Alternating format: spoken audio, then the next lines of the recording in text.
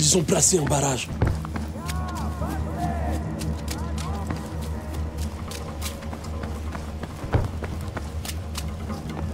Je dois surtout pas me faire repérer par ces patrouilles.